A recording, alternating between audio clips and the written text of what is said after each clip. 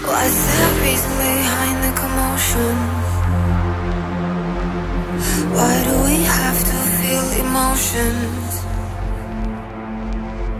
What's the purpose of all this madness?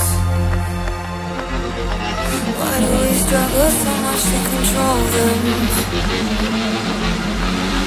Every day is a messing Sometimes I feel like I'm trapped in Because of my emotions.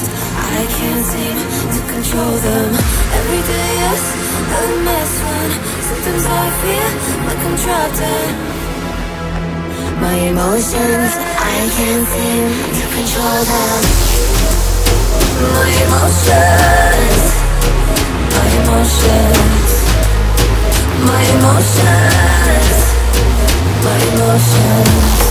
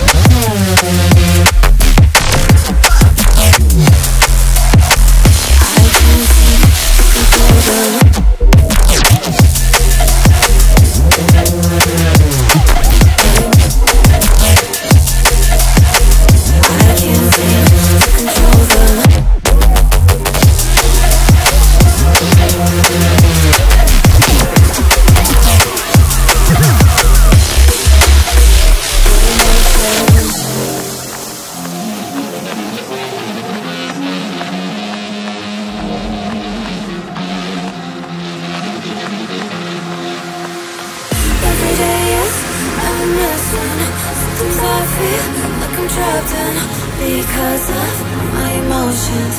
I can't seem to control them.